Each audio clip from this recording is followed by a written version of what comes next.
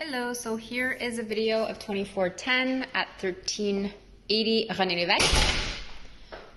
So when you come in, there's the closet, the bathroom to your right,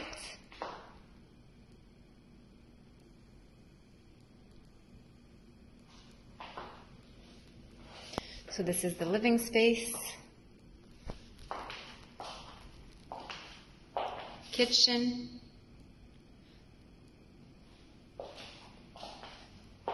Washer dryer with some storage.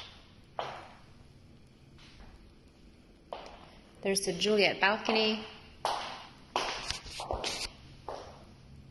This is uh, east.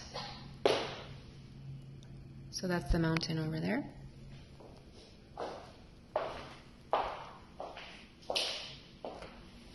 And this is the bedroom.